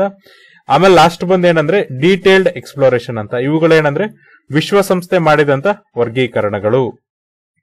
ನಮ್ಮ ದೇಶದಲ್ಲಿ ನೋಡ್ರಿ ನಾವ್ ಎಷ್ಟು ಎಕ್ಸ್ಪ್ಲೋರೇಷನ್ ಅನ್ನ ಮಾಡ್ತಾ ಇದೀವಿ ಅಂದ್ರೆ, ನಮ್ಮ ದೇಶದಲ್ಲಿ ನೋಡ್ರಿ ಈ ಆಬ್ವಿಯಸ್ ಜಿಯೋಲಜಿಕಲ್ ಪೊಟೆನ್ಷಿಯಲ್ ಏನಿದೆಯಲ್ಲ, ಅದರ ಹತ್ತು ಪರ್ಸೆಂಟ್ ಅನ್ನ ಮಾತ್ರ ನಾವಿಲ್ಲಿ ಎಕ್ಸ್ಪ್ಲೋರೇಷನ್ ಮಾಡ್ತಾ ಇದೀವಿ. ಈ ಹತ್ತು ಪರ್ಸೆಂಟ್ ಅನ್ನ ಎಕ್ಸ್ಪ್ಲೋರೇಷನ್ ಮಾಡಿ, ಅಂದ್ರೆ ಕಂಡುಹಿಡಿದ್ರು ಕೂಡ ಅದರಲ್ಲಿ ಎರಡು ಪರ್ಸೆಂಟ್ ಮಾತ್ರ ನಾವೇನಪ್ಪ ಅಂದ್ರೆ ಗಣಿಗಾರಿಕೆಯನ್ನ ಮಾಡ್ತಾ ಇದೀವಿ. ಜೊತೆಗೆ ನೋಡ್ರಿ, ಒಂದು ಪರ್ಸೆಂಟ್ ಅನ್ನ ನಾವೇನಪ್ಪ ಅಂದ್ರೆ ಯಾವ್ದ್ರ ಮೇಲೆ ಸ್ಪೆಂಡ್ ಮಾಡ್ತಿದೀವಿ ಅಂದ್ರೆ ಗ್ಲೋಬಲ್ ಮಿನರಲ್ ಎಕ್ಸ್ಪ್ಲೋರೇಷನ್ ಬಜೆಟ್ ಪ್ರಕಾರ. ಅಂದ್ರೆ ನೋಡ್ರಿ, ಜಾಗತಿಕವಾಗಿ ಈ ಗಣಿಯನ್ನ ಕಂಡಿಡೋದಕ್ಕೆ ಏನ್ ಬಜೆಟ್ ಇದೆಯಲ್ಲ, ಆ ಬಜೆಟ್ಗೆ ನಮ್ಮ ದೇಶದ ಬಜೆಟ್ ಅನ್ನ ಖರ್ಚು ಕಂಪಾರಿಸನ್ ಮಾಡಿದ್ರೆ ನಾವು ಕೇವಲ ಒಂದು ಪರ್ಸೆಂಟ್ ಹಣವನ್ನ ಮಾತ್ರ ಖರ್ಚು ಮಾಡ್ತಿದೀವಿ. ಈಗ ನೋಡ್ರಿ, ಒಂದು ಗಣಿ ಯಾವ ತರನಾಗಿದೆ ಅಂತ ಅಲ್ಲಿ ರಿಸರ್ಚ್ ಮಾಡಿ, ಸಂಶೋಧನೆ ಮಾಡಿದಾಗ ಮಾತ್ರ ಅಲ್ಲಿ ಗಣಿ ಇದೆ ಅಂತ ಗೊತ್ತಾಗುತ್ತೆ. ಸೊ ನಾವು ಅದನ್ನ ಮಾಡ್ತಾನೆ ಇಲ್ಲ. ಯಾಕಂದ್ರೆ ಫಸ್ಟ್ ಒಂದು ಏರಿಯಾದಲ್ಲಿ ಅಲ್ಲಿ ಮಣ್ಣಲ್ಲಿ ಏನಪ್ಪಾ ಅಂದ್ರೆ, ಈ ಮೈನ್ಸ್ ಇದೆಯೋ ಇಲ್ಲ ಅಂತ ತಿಳ್ಕೊಂಡು ಆಮೇಲೆ ಅಲ್ಲಿ ಗಣಿಗಾರಿಕೆನ ಮಾಡ್ಬೇಕಾಗತ್ತೆ. ಆದ್ರೆ ಈ ಮಣ್ಣಲ್ಲಿ ಮೈನ್ಸ್ ಇದೆಯೋ ಇಲ್ಲೋ ಅನ್ನೋ ತಿಳ್ಕೊಳ್ಳೋದಕ್ಕೆ ನಾವೇನ್ ಹಣವನ್ನ ಖರ್ಚು ಮಾಡ್ತಿದ್ವಿ, ಅಲ್ಲ ತುಂಬಾ ಕಮ್ಮಿ ಇದೆ. ಕೇವಲ ಏನಪ್ಪಾ ಅಂದ್ರೆ ಒಂದು ಪರ್ಸೆಂಟ್ ಜಾಗತಿಕವಾಗಿ ಮಿನರಲ್ ಎಕ್ಸ್ಪ್ಲೋರೇಷನ್ ಬಜೆಟ್ ಏನ್ ಖರ್ಚು ಮಾಡ್ತಾರಲ್ಲ ಅದನ್ನ ಮಾತ್ರ ನಾವಿಲ್ಲಿ ಖರ್ಚು ಮಾಡ್ತಾ ಇದೀವಿ ಇದು ಕೂಡ ಜಾಸ್ತಿ ಆಗ್ಬೇಕು. ಯಾಕಂದ್ರೆ ನೋಡ್ರಿ, ಇದು ಜಾಸ್ತಿ ಆದ್ರೆ ಹೆಚ್ಚೆಚ್ಚು ಸಂಶೋಧನೆಗಳು ನಡೆದು, ನಮ್ಮ ದೇಶದಲ್ಲೂ ಕೂಡ ಏನಪ್ಪಾ ಅಂದ್ರೆ ಹೆಚ್ಚೆಚ್ಚು ಈ ಒಂದು ಗ್ಯಾಸಸ್ ಗಳಿರ್ಬೋದು ಜೊತೆಗೆ ಏನಪ್ಪಾ ಅಂದ್ರೆ ಮಿನರಲ್ಸ್ ಗಳಿರ್ಬೋದು ಇವುಗಳು ಸಿಗುವಂತ ಸಂಭಾವ್ಯತೆ ಜಾಸ್ತಿ ಇರುತ್ತೆ. ನಮ್ಮ ದೇಶದಲ್ಲಿ ನೋಡ್ರಿ, ಇಲ್ಲಿವರೆಗೂ ಕೂಡ ಏನಪ್ಪಾ ಅಂದ್ರೆ ಹೆಚ್ಚಿನ ಅನ್ವೇಷಣೆಗಳಾಗಿಲ್ಲ. ಎಸ್ಪೆಷಲಿ ಯಾವುದಕ್ಕೋಸ್ಕರಪ್ಪ ಅಂದ್ರೆ ಈ ಒಂದು ಹೆಚ್ಚೆಚ್ಚು ಮಿಡಲ್ ಗಳನ್ನ ಡಿಸ್ಕವರಿ ಮಾಡೇ ಇಲ್ಲ ಅಂತ ಅವರು ಹೇಳ್ತಿದ್ದಾರೆ. ಆಮೇಲೆ ನೋಡ್ರಿ, ಹೆಚ್ಚಾಗಿ ಏನ್ ಈ ಎಕ್ಸ್ಪ್ಲೋರೇಷನ್ ಪ್ರಾಜೆಕ್ಟ್ ಗಳಿರುತ್ತೆ ಅಂದ್ರೆ ಹೊಸ ಹೊಸ ಗಣಿಗಾರಿಕೆಗಳ ಅಥವಾ ಈ ಮೈನ್ಸ್ ಇರುವಂತ ಸುದ್ದಿಗಳು ಏನಿರುತ್ತಲ್ಲ ಇವುಗಳನ್ನು ಯಾರು ಮಾಡ್ತಾರಪ್ಪ ಅಂದ್ರೆ ಸರ್ಕಾರದ ಏಜೆನ್ಸಿಗಳಾದಂತ geological survey geological survey of ಇಂಡಿಯಾದವರು ಕ್ಯಾರಿ ಮಾಡ್ತಾರೆ. ಅಥವಾ public sector enterprises public sector undertakings ಏನಿದೆ ಪಿ ಎಸ್ ಯು ಅಂತ ಏನ್ ಕರಿತೀವಲ್ಲ, ಅವರಾದ್ರೂ ಮಾಡ್ತಾರೆ. ಅಥವಾ ಮಿನರಲ್ ಎಕ್ಸ್ಪ್ಲೋರೇಷನ್ ಕೋಆಪರೇಷನ್ ಲಿಮಿಟೆಡ್ ಆದ್ರೂ ಮಾಡ್ತಾರೆ. ಆದ್ರೆ ಇಲ್ಲಿ ಪ್ರೈವೇಟ್ ಸೆಕ್ಟರ್ ಪಾರ್ಟಿಸಿಪೇಷನ್ ಏನಪ್ಪಾ ಅಂದ್ರೆ ತುಂಬಾ ಕಮ್ಮಿ ಇದೆ. ಭಾರತದಲ್ಲಿ ನೋಡ್ರಿ ಈ ಮೈನಿಂಗ್ ಪಾಲಿಸಿ ಏನಿದೆಲ್ಲ ಇದನ್ನ ಏನ್ ಮಾಡಿದ್ರೆ ಅಂದ್ರೆ ಗ್ರೀನ್ ಫೀಲ್ಡ್ ಎಕ್ಸ್ಪ್ಲೋರೇಷನ್ ಮಾಡಿದ್ದಾರೆ. ಅಂದ್ರೆ ನೋಡ್ರಿ ಇಲ್ಲಿ ಖಾಸಗಿ ವಲಯದವರಿಗೆ ಅವಕಾಶವನ್ನ ಕೊಟ್ಟಿಲ್ಲ. ಬದಲಾಗಿ ಸರ್ಕಾರಿ ವಲಯದವರು ಮಾತ್ರ ಇಲ್ಲಿ ಎಕ್ಸ್ಪ್ಲೋರೇಷನ್ ಮಾಡ್ತಾ ಇದ್ರೆ. ಅದಕ್ಕೆ ನಾವ್ ಏನಂತ ಕರಿತೀವಿ ಅಂದ್ರೆ ಗ್ರೀನ್ ಫೀಲ್ಡ್ ಎಕ್ಸ್ಪ್ಲೋರೇಷನ್ ಅಂತ ಕರಿತೀವಿ. ಸೊ ನೋಡ್ರಿ, ಯಾವ ಒಂದು ಸೆಕ್ಟರ್ಗೆ ಲೈಸೆನ್ಸ್ ಸಿಗುತ್ತಲ್ಲ, ಅದೇ ಸೆಕ್ಟರ್ಗೆ ಮತ್ತೆ ಏನಾಗತ್ತಪ್ಪ ಅಂದ್ರೆ ಲೈಸೆನ್ಸ್ ಸಿಗುತ್ತೆ. ಇದರಿಂದ ಅವರು ಹೆಚ್ಚೆಚ್ಚು ಗಣಿಗಾರಿಕೆಯನ್ನ ಮಾಡಿ ಅವರ ಒಂದು ಶ್ರೇಯೋಭಿವೃದ್ಧಿ ಅಥವಾ ಆ ಒಂದು ಸೆಕ್ಟರ್ ಏನಪ್ಪಾ ಅಂದ್ರೆ ಅಭಿವೃದ್ಧಿಯನ್ನ ಮಾಡ್ತಾ ಹೋಗ್ತಾರೆ. ಹಾಗಾಗಿ ಮೈನಿಂಗ್ ಅನ್ನೋದು ಭಾರತದಲ್ಲಿ ಅಥವಾ ಗಣಿಗಾರಿಕೆ ಅನ್ನೋದು ಭಾರತದಲ್ಲಿ ಏನಪ್ಪಾ ಅಂದ್ರೆ ಸರ್ಕಾರದ ಒಂದು ಭಾಗವಾಗಿದೆ. ಹಾಗಾಗಿ ನೋಡ್ರಿ ಇಲ್ಲಿ ಏನಪ್ಪಾ ಅಂದ್ರೆ ಕಂಪ್ನೀಸ್ಗೆ ಯಾವುದೇ ತರನಾದ ಇನಿಷಿಯೇಟಿವ್ಸ್ ಕೊಡದೇ ಇರೋದ್ರಿಂದ ಪ್ರೈವೇಟ್ ಸೆಕ್ಟರ್ ಇಲ್ಲಿ ಭಾಗವಹಿಸ್ತಾ ಇಲ್ಲ. ಆಮೇಲೆ ನೋಡ್ರಿ ಒಂದು ಪ್ರದೇಶದಲ್ಲಿ ನಾವೇನಾದ್ರೂ ಎಕ್ಸ್ಪ್ಲೋರೇಷನ್ ಮಾಡ್ಬೇಕಂದ್ರೆ ಸೊ ನೋಡ್ರಿ ಎಕ್ಸ್ಪ್ಲೋರೇಷನ್ ಅಂದ್ರೆ ಹೊಸ ಗಣಿ ಗಣಿ ಇದೆಯೋ ಇಲ್ವೋ ಈ ಮಣ್ಣಲ್ಲಿ ಅಂತ ಕಂಡುಹಿಡಿಬೇಕಾದ್ರೆ ನಾವ್ ಅಲ್ಲಿ ಏನ್ ಮಾಡ್ಬೇಕಾಗತ್ತಂದ್ರೆ ಕೆಲವೊಂದಿಷ್ಟು ತಂತ್ರಜ್ಞಾನಗಳನ್ನ ಬಳಸಬೇಕಾಗತ್ತೆ. ಫಾರ್ ಎಕ್ಸಾಂಪಲ್ ನೋಡ್ರಿ ಏರಿಯಲ್ ಟೆಕ್ನಿಕ್ಸ್ ಇರ್ಬೋದು ಜೋಗ್ರ ಜೋಲಾಜಿಕಲ್ ಮ್ಯಾಪಿಂಗ್ ಇರ್ಬೋದು ಜಿಯೋಕೆಮಿಕಲ್ ಅನಾಲಿಸಿಸ್ ಇರ್ಬೋದು, ಇವುಗಳನ್ನ ನಾವು ಮಾಡಬೇಕಾಗತ್ತೆ. ಸೊ ನೋಡ್ರಿ ಏರಿಯಲ್ ಸರ್ವೆ ಅಂದ್ರೆ ನಾವ್ ಏನ್ ಮಾಡ್ಬೇಕಾಗತ್ತೆ ಅಂದ್ರೆ ಡ್ರೋನ್ ಮೂಲಕ ಆ ಪ್ರದೇಶವನ್ನ ಕಂಪ್ಲೀಟ್ ಆಗಿ ಸರ್ವೆ ಮಾಡ್ಬೇಕಾಗತ್ತೆ. ಆಮೇಲೆ ಅಲ್ಲಿರುವಂತ ಜಿಯಾಲಜಿಯಲ್ಲಿ ಏನಿದೆ, ಮಣ್ಣಲ್ಲಿ ಏನಿದೆ ಅಂತ ನಾವು ತಿಳ್ಕೊಳ್ಳೋದಕ್ಕೆ ಜಿಯೋಲಾಜಿಕಲ್ ಮ್ಯಾಪಿಂಗ್ ಅನ್ನ ಮಾಡ್ಬೇಕಾಗತ್ತೆ. ಇದಾದ್ಮೇಲೆ ನೋಡ್ರಿ ಜಿಯೋ ಕೆಮಿಕಲ್ ಅಂದ್ರೆ ಆ ಮಣ್ಣನ್ನ ತೆಗೆದುಕೊಂಡು ಕೆಮಿಕಲ್ಸ್ ಮೂಲಕ ಈ ಕೆಮಿಕಲ್ ಗಳನ್ನ ಹಾಕಿ ಆ ಮಣ್ಣಲ್ಲಿ ಏನಪ್ಪ ಅಂದ್ರೆ ಮಿನರಲ್ಸ್ ಇದೆಯೋ ಇಲ್ವೋ ಅಂತ ನಾವು ಚೆಕ್ ಮಾಡ್ಬೇಕಾಗತ್ತೆ. ಆಮೇಲೆ ನೋಡ್ರಿ, ಈ ಒಂದು ಪ್ರೊಸೆಸ್ ಏನಿದೆಲ್ಲ ತುಂಬಾ ಸ್ಪೆಷಲೈಸೇಷನ್ ಆದಂತದ್ದು ಮತ್ತೆ ತುಂಬಾ ಸಮಯವನ್ನು ಕೂಡ ತೆಗೆದುಕೊಳ್ಳುತ್ತೆ. ಅಂದ್ರೆ ಆದಷ್ಟು ಬೇಗ ಆಗಲ್ಲ ಬದಲಾಗಿ ಇದಕ್ಕೆ ಸಮಯಗಳು ಜಾಸ್ತಿ ಹೋಗುತ್ತೆ. ಇದ್ರ ಜೊತೆಗೆ ನೋಡ್ರಿ, ಇಲ್ಲಿ ಹಣವನ್ನು ಕೂಡ ನಾವಿಲ್ಲಿ ಜಾಸ್ತಿ ಹೆಚ್ಚೆಚ್ಚು ಖರ್ಚು ಮಾಡ್ಬೇಕಾಗತ್ತೆ.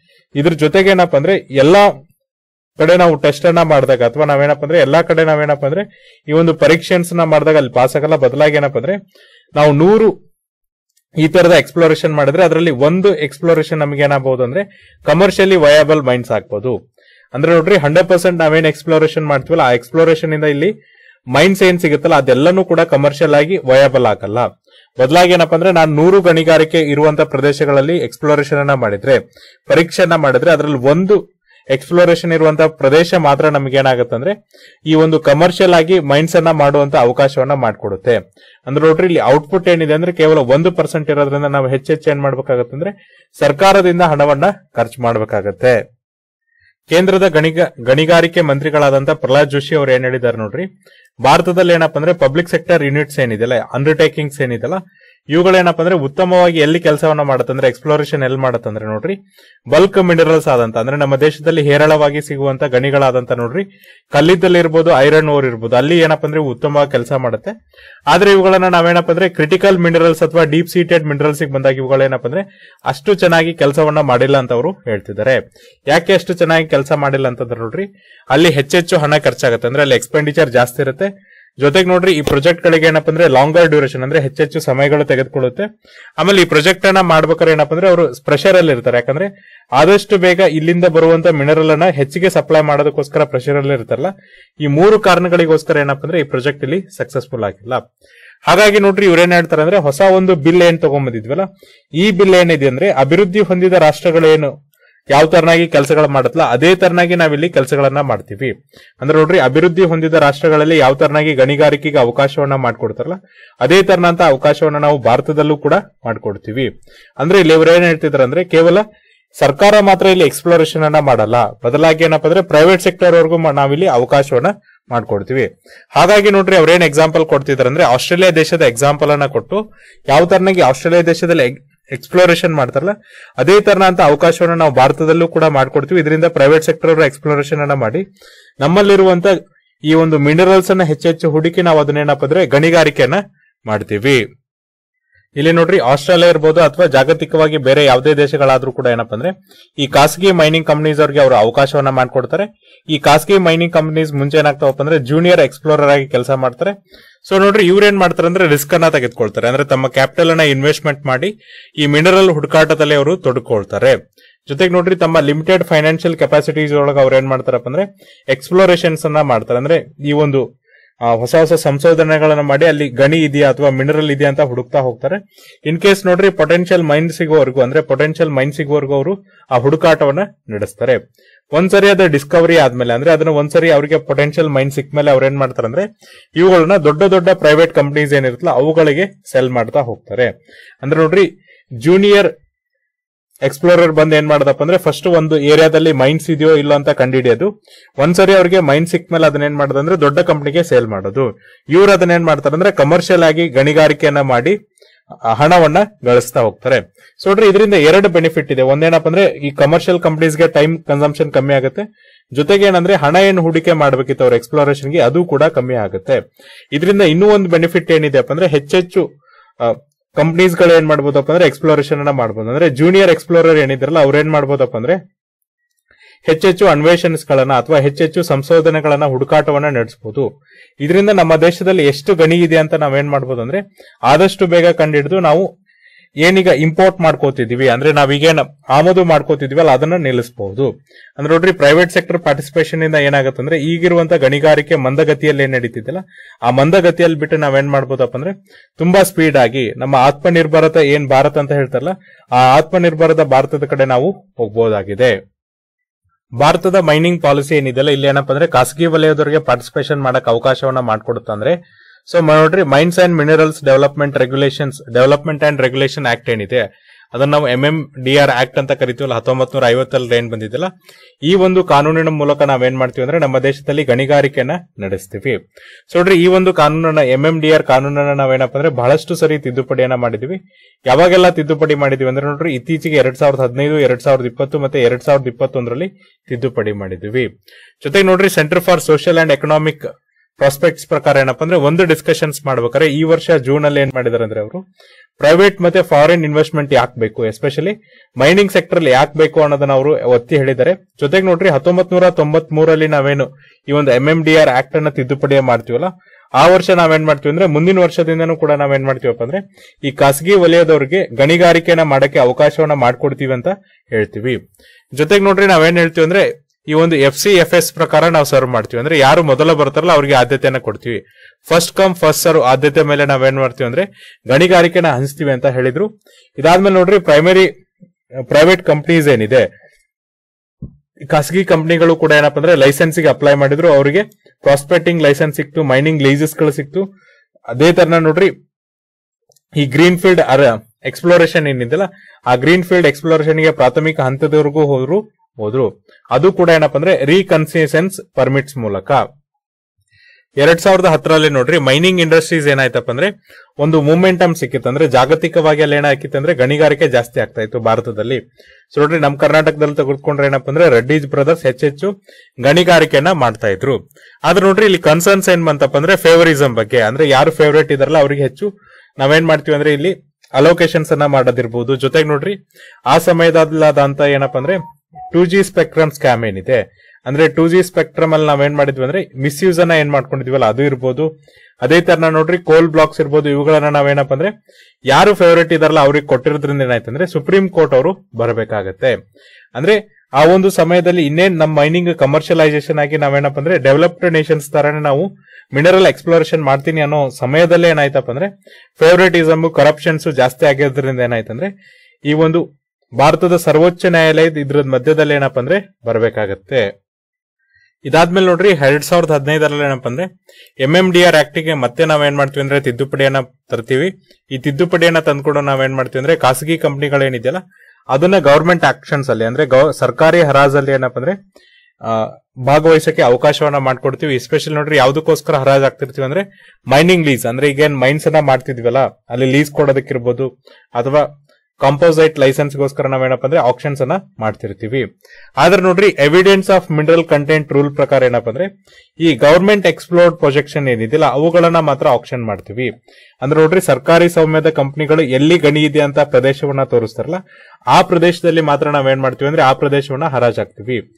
ಅಂದ್ರೆ ನೋಡ್ರಿ, ಸರ್ಕಾರದ ಏಜೆನ್ಸಿಗಳಾದಂತ ಈ ಒಂದು geological of geological survey of India ಇರ್ಬೋದು ಪಬ್ಲಿಕ್ ಸೆಕ್ಟರ್ ಅಂಡರ್ಟೇಕಿಂಗ್ಸ್ ಇರ್ಬೋದು ಇವರೇನ್ ಎಕ್ಸ್ಪ್ಲೋರೇಷನ್ ಮಾಡಿದ್ರಲ್ಲ, ಆ ಒಂದು ಪ್ರದೇಶದಲ್ಲಿ ಮೈನ್ಸ್ ಇದೆ, ಗಣಿಗಾರಿಕೆ ಇದೆ ಅಂದ್ರೆ ಮಾತ್ರ ನಾವ್ ಅಲ್ಲೇನ್ ಮಾಡಿದ್ವಿ ಅಂದ್ರೆ ಅಂತ ಸ್ಥಳಗಳನ್ನ ಆಪ್ಷನ್ ಅನ್ನ ಮಾಡಕ್ ಹೋಗ್ತೀವಿ. ಹಾಗಾಗಿ ನೋಡ್ರಿ ಇಲ್ಲಿ ಖಾಸಗಿ ವಲಯದ ಇನ್ವಾಲ್ವ್ಮೆಂಟ್ ಕಡಿಮೆ ಆಯ್ತಾ ಹೋಗ್ತು. ಅದೇ ತರನಾಗ ಏನಪ್ಪಾ ಅಂದ್ರೆ ಈ ಒಂದು ತಿದ್ದುಪಡಿಯಿಂದ ನಮ್ಗೆ ಏನಾಯ್ತಂದ್ರೆ ಈ ಖಾಸಗಿ ಫಾರ್ಮ್ಸ್ ಏನಿರುತ್ತಲ್ಲ ಇವುಗಳನ್ನ ನಾವೇನ್ ಮಾಡಿದ್ವಿ ಅಂದ್ರೆ ಎಕ್ಸ್ಪ್ಲೋರೇಷನ್ ಏಜೆನ್ಸಿ ಅಂತೇಳಿ national mineral exploration trust N M E T ಅಂತ ನಾವೇನ್ ಕರಿತೀವಲ್ಲ, ಅದ್ರ ಜೊತೆಗೆ ನೋಂದಣಿ ಮಾಡ್ಕೊ ಅಂತ ಹೇಳಿದ್ವಿ. ಜೊತೆಗೆ ನೋಡ್ರಿ, ಇಲ್ಲಿ ಯಾವ್ದಕ್ಕೋಸ್ಕರ ಫಂಡ್ ಮಾಡ್ತಿದ್ವಿ ಅಂದ್ರೆ G four two G one ಎಕ್ಸ್ಪ್ಲೋರೇಷನ್ಗೆ ನಾವು ಫಂಡ್ ಮಾಡ್ತಿದ್ವಿ. ಆದ್ರೆ ನೋಡ್ರಿ, ಖಾಸಗಿ ವಲಯದ ಒಂದು ಪಾರ್ಟಿಸಿಪೇಷನ್ ಏನಿತ್ತು ಭಾಗವಹಿಸುವಿಕೆ ಏನಿತ್ತು ಅದು ತುಂಬಾನೇ ಕಮ್ಮಿ ಇತ್ತು. ಹಾಗಾದ್ರೆ ಯಾವ ತರನಾಗಿ ನೋಡ್ರಿ, ಈ ಮೈನ್ಸ್ ಅಂಡ್ ಮಿನರಲ್ಸ್ ಬಿಲ್ ಇದೆಯಲ್ಲ, ಎರಡ್ ಸಾವಿರದ ಇಪ್ಪತ್ತ್ ಮೂರು ಇದು ಯಾವ ತರನಾಗಿ ಏನಪ್ಪಾ ಅಂದ್ರೆ ಖಾಸಗಿ ವಲಯದವ್ರನ್ನ ಹೆಚ್ಚೆಚ್ಚು ಪ್ರೋತ್ಸಾಹಿಸುತ್ತೆ. ಎಸ್ಪೆಷಲಿ ಏನಪ್ಪಾ ಅಂದ್ರೆ ಈ ಭಾರತದಲ್ಲಿ ಗಣಿಗಾರಿಕೆ ಮಾಡಕ್ಕೆ ಖಾಸಗಿ ಕ್ಷೇತ್ರದವರಿಗೆ ಯಾವ ತರನ ಅಂತ ಪ್ರೋತ್ಸಾಹವನ್ನ ಕೊಡುತ್ತಂದ್ರೆ ಸೊ ನೋಡ್ರಿ ಫಸ್ಟ್ ಈ ಬಿಲ್ ಏನ್ ಮಾಡ್ತಿದೆ ಅಂದ್ರೆ ಆರು ಮಿನಿ ಆರು ಮಿನರಲ್ಸ್ ಏನಿದೆಯಲ್ಲ ಅವುಗಳನ್ನ ಹಿಂದೆ ಏನ್ ಮಾಡಿದ್ರಪ್ಪ ಅಂದ್ರೆ ಅಟೋಮಿಕ್ ಮಿನರಲ್ಸ್ ಅಂತ ಏನ್ ಕ್ಲಾಸಿಫೈ ಮಾಡಿದ್ರಲ್ಲ, ಆ ಕ್ಲಾಸಿಫಿಕೇಶನ್ ಲಿಸ್ಟ್ ಇಂದ ತೆಗೆದಿದ್ದಾರೆ. ಸೊ ನೋಡ್ರಿ ಅಟೋಮಿಕ್ ಅಟೋಮಿಕ್ ಮಿನರಲ್ಸ್ ಅಂತ ಹೇಳಿ ಕ್ಲಾಸಿಫೈ ಮಾಡಿದ್ರೆ ಅವುಗಳನ್ನ ನೀವ್ ಏನಪ್ಪ ಅಂದ್ರೆ ಕಮರ್ಷಿಯಲ್ ಆಗಿ ಮೈಂಡ್ ಮಾಡಕ್ಕಾಗಲ್ಲ. ಕಮರ್ಷಿಯಲ್ ಆಗಿ ಅಂದ್ರೆ ನೋಡ್ರಿ ನಾವೀಗ ಹೆಚ್ಚೆಚ್ಚು ಗಣಿಗಾರಿಕೆಯನ್ನ ಮಾಡಿ ಲಾಭವನ್ನ ಪಡೆದುಕೊಳ್ತೀವಲ್ಲ ಆ ತರನಾಗಿ ಲಾಭವನ್ನ ಪಡೆದುಕೊಳ್ಳಕ್ಕಾಗಲ್ಲ ಹಾಗಾಗಿ ನೋಡ್ರಿ, ಯಾವೆಲ್ಲ ಆರು ಮಿನರಲ್ಸ್ ಗಳಪ್ಪ ಅಂದ್ರೆ ಫಸ್ಟ್ ಆಫ್ ಆಲ್ ನೋಡ್ರಿ ಲಿಥಿಯಂ ಇರ್ಬೋದು ಬೆರಿಲಿಯಂ ಇರ್ಬೋದು ನೋಬಿಯಂ ಇರ್ಬೋದು ಟೈಟಾನಿಯಂ ಇರ್ಬೋದು ಟ್ಯಾಂಟ್ಲನಿಯಂ ಇರ್ಬೋದು, ಮತ್ತೆ ಜಿಕ್ರೋನಿಯಂ ಇರ್ಬೋದು. ಈ ಎಲ್ಲಾ ಮಿನರಲ್ಸ್ ಅನ್ನು ನಾವ್ ಏನ್ ಮಾಡಿದ್ವಿ ಅಂದ್ರೆ ಅಟೋನಿ ಅಟೋಮಿಕ್ ಮಿನರಲ್ಸ್ ಲಿಸ್ಟ್ ಇಂದ ಹೊರಗಡೆ ಇಟ್ಟಿದೀವಿ ಹಾಗಾಗಿ ನೋಡ್ರಿ, ಇವುಗಳನ್ನ ನಾವ್ ಏನ್ ಮಾಡ್ಬೋದು ಅಂದ್ರೆ ಕಮರ್ಷಿಯಲ್ ಆಗಿ ಎಕ್ಸ್ಪ್ಲೋರೇಷನ್ ಮಾಡ್ಬೋದು. ಅದೇ ತರನಾಗಿ ಏನಪ್ಪಾ ಅಂದ್ರೆ ಎರಡನೇದಿಲ್ಲಿ ಏನ್ ಹೇಳ್ತಿದ್ರ ಅಂದ್ರೆ ಕೆಲವೊಂದಿಷ್ಟು ಪ್ರೊಹಿಬಿಷನರಿ ಆಕ್ಷನ್ಸ್ ಅನ್ನ ತೆಗೆದುಕೊಂಡಿದ್ವಿ. ಎಸ್ಪೆಷಲಿ ನೋಡ್ರಿ, ಯಾವ್ಯಾವ್ದನ್ನ ನಾವು ನಿಷೇಧ ಮಾಡಿದ್ವಿ ಅಂದ್ರೆ ಪಿಟ್ಟಿಂಗ್ ಇರ್ಬೋದು ಟ್ರೆಂಚಿಂಗ್ ಇರ್ಬೋದು ಡ್ರಿಲ್ಲಿಂಗ್ ಇರ್ಬೋದು, ಇವುಗಳನ್ನ ನಾವೇನು ಇವುಗಳನ್ನ ನಾವೇನ್ ಬ್ಯಾನ್ ಮಾಡಿದ್ವಲ್ಲ, ಅವುಗಳನ್ನ ನಾವಿಲ್ಲಿ ಅಲೋ ಮಾಡ್ತಿದೀವಿ. ಇದ್ರ ಜೊತೆಗೆ ನೋಡ್ರಿ ಸಬ್ ಸಬ್ ಸರ್ಫೇಸ್ ಎಕ್ಸ್ಕಾವೇಶನ್ ಇರ್ಬೋದು, ಇವುಗಳನ್ನ ನಾವೇನು ಬ್ಯಾನ್ ಮಾಡಿದ್ವಲ್ಲ, ಅವುಗಳನ್ನ ನಾವೀಗ ತೆಗೆದು ಹಾಕ್ತಿದ್ವಿ ಯಾಕಂದ್ರೆ ನೋಡ್ರಿ ಒಂದು ಪ್ರದೇಶದಲ್ಲಿ ಎಷ್ಟು ಮಿನರಲ್ಸ್ ಇದೆ ಅನ್ನೋದನ್ನ ನಾವೇನ್ ಮಾಡ್ಬೇಕಂದ್ರೆ, ಈ ಟ್ರೆಂಚಿಂಗ್ ಫಿಟ್ಟಿಂಗ್ ಇವುಗಳನ್ನ ಮಾಡೋದ್ರ ಮೂಲಕ ಕಂಡುಹಿಡಿಬೇಕು. ಅದನ್ನ ನಾವು ಹಿಂದೆ ನಿಷೇಧ ಮಾಡಿದ್ವಲ್ಲ, ಅವುಗಳನ್ನು ಸಂಪೂರ್ಣವಾಗಿ ತೆಗೆದು ಹಾಕ್ತಿದೀವಿ ಇದ್ರ ಜೊತೆಗೆ ನೋಡ್ರಿ, ನಾವು ಮ್ಯಾಪಿಂಗ್ ಅನ್ನು ಕೂಡ ಮಾಡ್ತೀವಿ ಸರ್ವೇಸ್ ಅನ್ನು ಕೂಡ ಮಾಡಿಸ್ತೀವಿ. ಇದರಿಂದ ಪ್ರೊಹಿಬಿಟೆಡ್ ಆಕ್ಟಿವಿಟೀಸ್ನ ತೆಗೆದು ಹಾಕೋದ್ರಿಂದ ನೋಡ್ರಿ, ಹೆಚ್ಚೆಚ್ಚು ಖಾಸಗಿ ಕ್ಷೇತ್ರದವ್ರು ಏನ್ ಮಾಡ್ತಾರಪ್ಪ ಅಂದ್ರೆ ಇಲ್ಲಿ ಭಾಗವಹಿಸ್ತಾ ಹೋಗ್ತಾರೆ. ಅದೇ ತರ ನೋಡ್ರಿ, ಈ ಕಾಯ್ದೆ ಏನ್ ಮಾಡತ್ತಪ್ಪ ಅಂದ್ರೆ ಹೊಸ ತರನ ಅಂತ ಲೈಸೆನ್ಸ್ ಕೊಡೋದಕ್ಕೆ ಎನ್ಕರೇಜ್ ಅನ್ನ ಮಾಡುತ್ತೆ. ಎಸ್ಪೆಷಲಿ ರೀಕನ್ಸಿಸ್ಟೆನ್ಸ್ ಲೆವೆಲ್ ವರೆಗೆ ಅಥವಾ ಪ್ರಾಸ್ಪೆಕ್ಟಿಂಗ್ ಸ್ಟೇಜ್ ಎಕ್ಸ್ಪ್ಲೋರೇಷನ್ ಇರುತ್ತಲ್ಲ, ಅಲ್ಲಿ ಪ್ರೈವೇಟ್ ಸೆಕ್ಟರ್ ಭಾಗವಹಿಸೋದಕ್ಕೆ ಏನಪ್ಪ ಅಂದ್ರೆ ಹೊಸ ತರನ ಅಂತ ಇಲ್ಲಿ ಲೈಸೆನ್ಸ್ ಅನ್ನ ಕೊಡ್ತಾರೆ. ಸೋಡ್ರಿ ಎಕ್ಸ್ಪ್ಲೋರೇಷನ್ ಲೈಸೆನ್ಸ್ ಏನ್ ಕೊಡ್ತಾರಲ್ಲ ಅವುಗಳೇನಪ್ಪ ಅಂದ್ರೆ ಐದು ವರ್ಷದವರೆಗೆ ವ್ಯಾಲಿಡಿಟಿ ಇರುತ್ತೆ. ಅವುಗಳನ್ನ ನೀವೇನ್ ಮಾಡ್ಬೋದು ಅಂದ್ರೆ ಎರಡು ವರ್ಷದವರೆಗೆ ಮತ್ತೆ ಜಾಸ್ತಿ ಮಾಡ್ತಾ ಹೋಗ್ಬೋದು. ಜೊತೆಗೆ ನೋಡ್ರಿ, ಇವುಗಳನ್ನ ಏನ್ ಮಾಡ್ತಾರೆ ಅಂದ್ರೆ ರಾಜ್ಯ ಸರ್ಕಾರಗಳು ಕೊಡುತ್ತೆ. ಅವುಗಳನ್ನ ಯಾವ ತರನ ಕೊಡುತ್ತಪ್ಪ ಅಂದ್ರೆ ಕಾಂಪಿಟೇಟಿವ್ ಬಿಡ್ಡಿಂಗ್ ಮೂಲಕ. ಅಂದ್ರೆ ನೋಡ್ರಿ, ಒಂದು ಹರಾಜು ಪ್ರಕ್ರಿಯೆನ ಕರೀತಾರೆ. ಹರಾಜು ಪ್ರಕ್ರಿಯೆಯಲ್ಲಿ ಏನಪ್ಪ ಅಂದ್ರೆ ಯಾರು ಹೆಚ್ಚು ರೇಟ್ ಅನ್ನ ಘೋಷಣೆ ಮಾಡ್ತಾರಲ್ಲ, ಅವ್ರಿಗೆ ಏನ್ ಮಾಡ್ತಾರೆ ಅಂದ್ರೆ ಈ ಒಂದು ಲೈಸೆನ್ಸ್ ಅನ್ನ ಕೊಡ್ತಾ ಹೋಗ್ತಾರೆ. ಈ ಆಪ್ಷನ್ಸ್ ಅಲ್ಲೂ ಕೂಡ ನೋಡ್ರಿ, ಯಾರು ಎಲಿಜಿಬಲ್ ಎಕ್ಸ್ಪ್ಲೋರರ್ ಇದಾರಲ್ಲ ಅವ್ರಿಗೆ ಏನ್ ಮಾಡ್ಬೋದಪ್ಪ ಅಂದ್ರೆ ಎಷ್ಟು ಪರ್ಸೆಂಟ್ ನಿಮ್ಗೆ ಬೇಕು. ಅಂದ್ರೆ ಎಷ್ಟು ಪರ್ಸೆಂಟ್ ನಿಮ್ಗೆ ಲ್ಯಾಂಡ್ ಬೇಕಲ್ಲ, ಅದನ್ನ ನೀವೇನ್ ಮಾಡ್ಬೋದಪ್ಪ ಅಂದ್ರೆ ಬಿಡ್ಡಿಂಗ್ ಅನ್ನ ಮಾಡ್ಬೋದು. ಸೊ ಕೆಲವೊಬ್ಬರಿಗೆ ಏನಪ್ಪ ಅಂದ್ರೆ ಆ ಕಂಪ್ಲೀಟ್ ಲ್ಯಾಂಡ್ ಬೇಕಾಗಿರುತ್ತೆ ಕೆಲವೊಬ್ಬರಿಗೆ ಟ್ವೆಂಟಿ ಪರ್ಸೆಂಟ್ ಬೇಕಾಗಿರುತ್ತೆ. ಅವುಗಳಲ್ಲಿ ಎಷ್ಟು ಪರ್ಸೆಂಟ್ ಬೇಕಲ್ಲ ಅಷ್ಟನ್ನ ನೀವು ಏನಪ್ಪ ಅಂದ್ರೆ ಬಿಡ್ಡಿಂಗ್ ಮಾಡಬೇಕು. ಅದಕ್ಕೋಸ್ಕರ ನೀವು ಆಕ್ಷನ್ ಪ್ರೀಮಿಯಂ ಅನ್ನ ಕಟ್ಟಬೇಕಾಗತ್ತೆ ಇದಾದ್ಮೇಲೆ ಏನಪ್ಪ ಅಂದ್ರೆ ಯಾರಿಗೆ ನಾವು ಲೀಸ್ ಅನ್ನ ಕೊಟ್ಟಿರ್ತೀವಲ್ಲ, ಆ ಲೀಸ್ ಇದ್ದವ್ರು ಏನ್ ಮಾಡ್ಬೇಕಂದ್ರೆ ಸಕ್ಸಸ್ಫುಲ್ ಆಗಿ ಅಲ್ಲಿ ಎಕ್ಸ್ಪ್ಲೋರೇಷನ್ ಅನ್ನ ಮಾಡಿ ಮೈನಿಂಗ್ ಅನ್ನ ಮಾಡಿ ರಾಜ್ಯ ಸರ್ಕಾರಕ್ಕೆ ಏನ್ ಮಾಡ್ಬೇಕಾಗತ್ತೆ ಅಂದ್ರೆ ಅಲ್ಲಿ ಎಷ್ಟು ಹಣ ಇರುತ್ತಲ್ಲ ಆ ಹಣವನ್ನ ಸಂದಾಯ ಮಾಡ್ಬೇಕಾಗತ್ತೆ. ಸೊ ನೋಡ್ರಿ, ಯಾರು ಲೋಯೆಸ್ಟ್ ಬಿಡ್ ಮಾಡ್ತಾರೆ, ಅವ್ರಿಗೆ ಏನಾಗುತ್ತೆ ಅಂದ್ರೆ ಈ ಒಂದು ಆಪ್ಷನ್ ಹೊಂದುತ್ತೆ. ಜೊತೆಗೆ ನೋಡ್ರಿ, ಇವುಗಳನ್ನ ಏನ್ ಮಾಡ್ತಾ ಇದಾರೆ ಅಂದ್ರೆ, ಇಪ್ಪತ್ತೊಂಬತ್ತು ಮಿನರಲ್ಸ್ ಏನಿದೆಯಲ್ಲ, ಈ ಇಪ್ಪತ್ತೊಂಬತ್ತು ಮಿನರಲ್ಸ್ ಗಳಿಗೂ ಕೂಡ ಏನಪ್ಪಾ ಅಂದ್ರೆ ಈ ಆಕ್ಷನ್ಸ್ ಅನ್ನ ಮಾಡ್ತಾರೆ ಅಥವಾ ಹರಾಜು ಪ್ರಕ್ರಿಯೆನ ಮಾಡ್ತಾರೆ. ಈ ಇಪ್ಪತ್ತೊಂಬತ್ತು ಮಿನರಲ್ಸ್ ಏನಪ್ಪಾ ಅಂದ್ರೆ ಈ ಒಂದು ತಿದ್ದುಪಡಿಯ ಕಾಯ್ದೆಯ ಏಳನೇ ಶೆಡ್ಯೂಲ್ ಏನಿದೆ. ಏಳನೇ ಅನುಸೂಚಿ ಪ್ರಕಾರ ಇಪ್ಪತ್ತೊಂಬತ್ತು ಮಿನರಲ್ಸ್ ಏನಿದೆಯಲ್ಲ ಅದ್ರ ಪ್ರಕಾರ ಇಲ್ಲಿ ಎಕ್ಸ್ಪ್ಲೋರೇಷನ್ ಅಥವಾ ಬಿಡ್ಡಿಂಗ್ ಅನ್ನ ಮಾಡ್ತಾ ಹೋಗ್ತಾರೆ.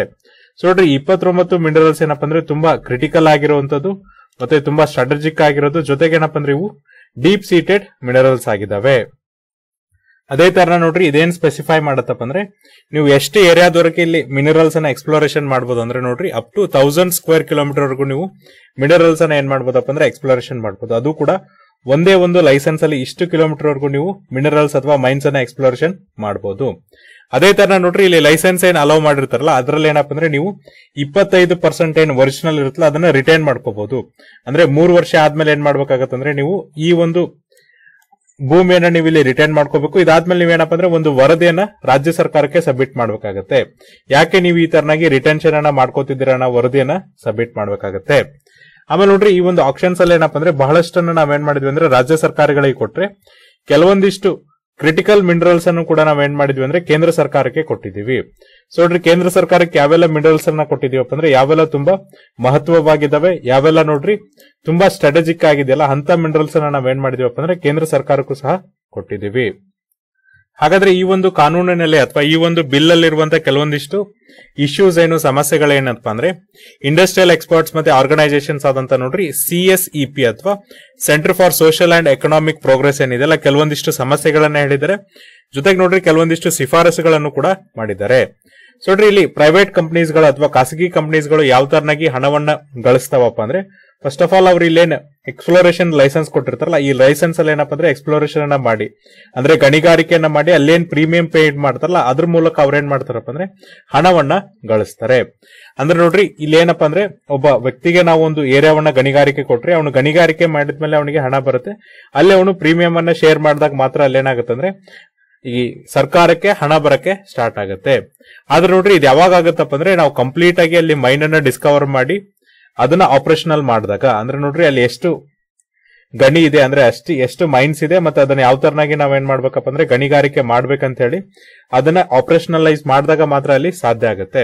ಆದ್ರೆ ಈಗಿನ ಟ್ರೆಂಡ್ ಏನ್ ತೋರಿಸ್ತಾ ಇದೆ ಅಂದ್ರೆ ನೋಡ್ರಿ, ಕೆಲವೊಂದಿಷ್ಟು ಗವರ್ಮೆಂಟ್ ಟೈಮ್ ಲೈನ್ಸ್ ಇರ್ಬೋದು ಎಸ್ಪೆಷಲಿ ಏನಪ್ಪ ಅಂದ್ರೆ ಕೆಲವೊಂದಿಷ್ಟು ಕ್ಲಿಯರೆನ್ಸ್ ಮಾಡೋದಕ್ಕೋಸ್ಕರ ನೋಡ್ರಿ ಸರ್ಕಾರದ ಸಂಸ್ಥೆಗಳು ಅಥವಾ ಸರ್ಕಾರಿಯ ವಿಭಾಗಗಳ ಏನ್ ಟೈಮ್ ಅನ್ನ ತೆಗೆದುಕೊಳ್ತಾ ಇದ್ದಾರೆ, ಅವುಗಳನ್ನ ನೋಡಿದಾಗ ನೋಡ್ರಿ, ಇದೇನಪ್ಪ ಅಂದ್ರೆ ಕೇವಲ ಒಂದು ದಿನದಲ್ಲಿ ಅಥವಾ ಒಂದು ವರ್ಷದಲ್ಲಿ ಆಗುವಂತ ಪ್ರೊಸೆಸ್ ಆಗಿಲ್ಲ.